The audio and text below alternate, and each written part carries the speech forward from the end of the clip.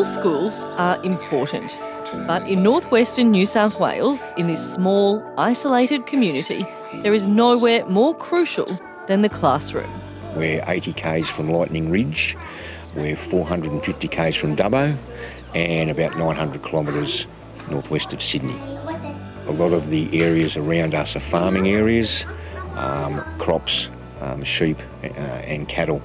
Um, there's not much of work opportunities in Goodooga, um, so that's why the school is extremely important within the community. Like every remote community, Goodooga faces its fair share of challenges. But one significant hurdle here has been overcome. Technology has changed the way this school and its community sources its drinking water. We have a proprietary product called a hydro panel, and it is able to harvest water from the atmosphere and use energy from the sun to convert that into liquid and deliver it straight into a tap. The hydropanel technology has been developed in the United States over the past seven or so years. It came out of Scottsdale, Arizona, where some of the driest, harshest conditions in the world. Um, and scientists there were looking at the, the ability of material to absorb water. So the core technology is actually a, a material that can passively suck water out of the air. So we use heat from the sun to create hot air, and we use that to increase the dew point. So we effectively use material and heat to create clean, um, drinkable water from the air. Um, it comes out distilled, and then we add in calcium and magnesium. So, how exactly did that technology end up here, in this small, isolated outpost on the Queensland New South Wales border? When we look at drinking water stress in Australia, it's a problem of remote and rural areas, and here in Goodooga is a great example of that. You've got remote Australia, particularly Indigenous Australia and rural Australia, still reliant on either no service and having and tanks and bores, um, or with service but having water that is nowhere near the quality of what we see in Sydney or, or Brisbane to drink. It only impacts about 2% of the Australian population. Regardless, unsafe, unacceptable, and unreliable drinking water is the reality in hundreds of small, rural, and remote communities. There are currently 36 New South Wales public schools without permanent access to safe drinking water that are instead reliant on bottled drinking water provided by the government. And there's a longer list, more like 200 schools, which when, um, when droughts come, when water gets more and more scarce, we see that quality of regional and remote towns uh, really suffer first. Rob Bartrop says it's not the government propping them up, but rather the isolated families themselves, parent teacher groups, or donors from the community. Places in the more hard to reach communities in the state uh, really suffer, and we see much higher consumption of bottled water, we see more costs, more plastic waste, and actually just a bigger gap to everyday life than what we see people growing up in urban areas.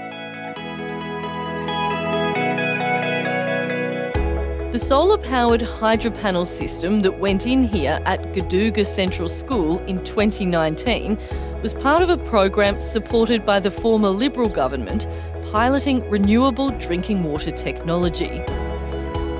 Systems like this one were installed across 10 New South Wales schools. The 10 panels on this site can provide more than 50 litres of drinking water per day and have a storage capacity of up to 300 litres. Since the panels went in, it's had a big impact. This area, not unlike many remote regions, relies on bore water, which, while drinkable, is not always preferable. The bore water comes out of the bore um, extremely hot and then is treated and also cooled down with the cooling tower up at the bore baths. And some people in the community don't drink the bore water, they'll drink just the um, bottled water. From an environmental perspective, relying on bottled water obviously isn't great. It's also expensive. And in Goodooga, like in many communities with reduced access to quality drinking water, there's also the problem of high consumption of sugary drinks, such as cordial or soft drink. We try and discourage students drinking soft drinks and Powerades and, and those type of sugary drinks.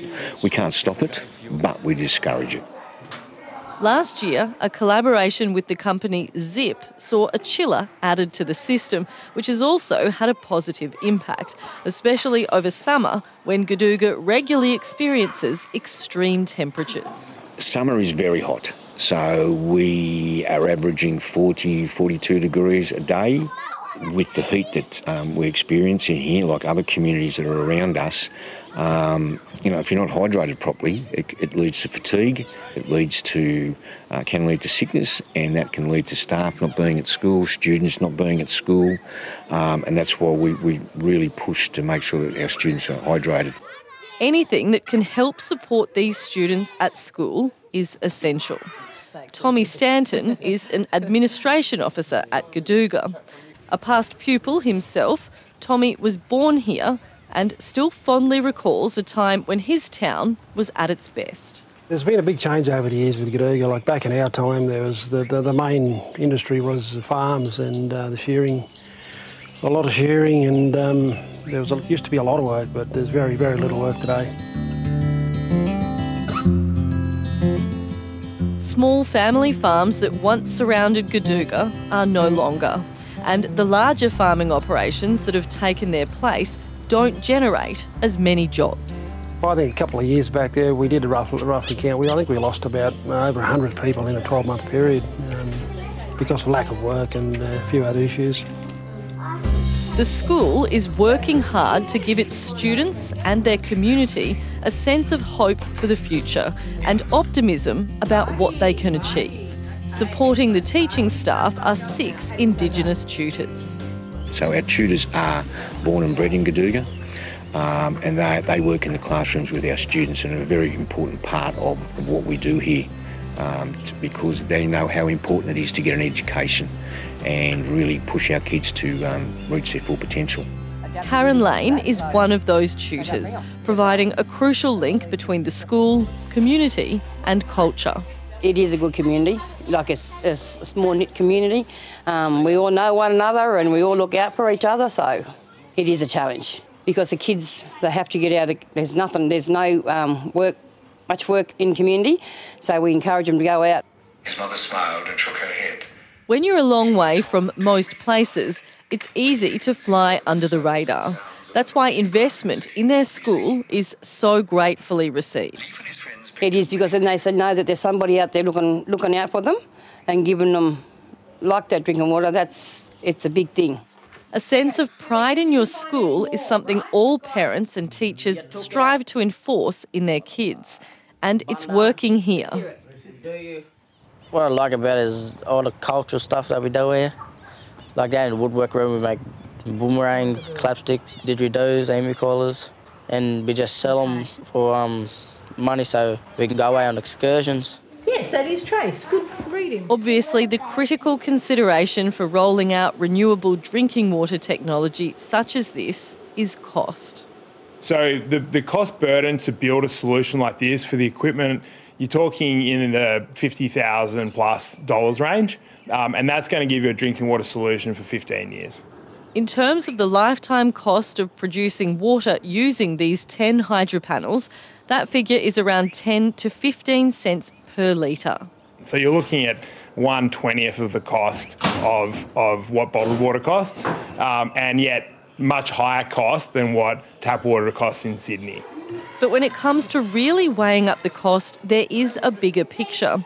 The expense of buying bottled water, in terms of cost of living pressures on individuals, households, or even taxpayers, needs to be considered as does the environmental cost when it comes to the staggering amount of plastic waste produced from bottled water.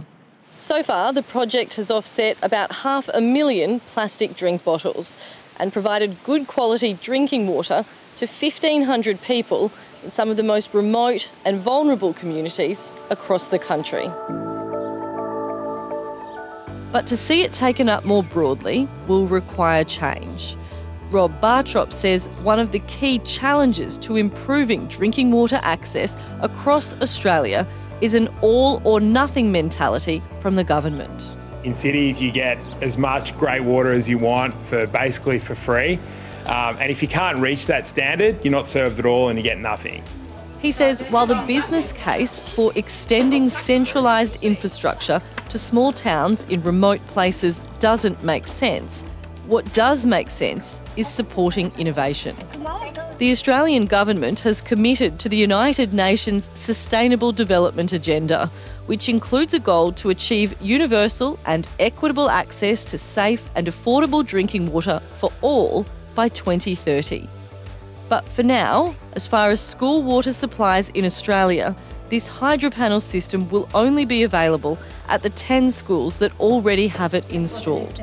The government has no plans to roll it out further. Water's still very much in the Roman era where it's about finding clean water and getting it to cities. I think we've got to think of new ways to find water like the atmosphere and new ways to deliver it. In this case, like leapfrogging infrastructure and actually delivering it at the point of demand.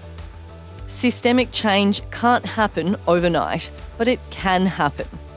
Australia led the world in some of these technologies when it came to mobile phone networks, when it's come to renewable energy microgrids. So when you look at essential services, in many ways we're two thirds of the way there with great mobile telephone networks and great uh, remote energy systems. Water is the one that needs to take that step and improve outcomes. To do that though, it's clear it can't be left to the tiny minority missing out on a reliable and safe drinking water supply to solve the problem.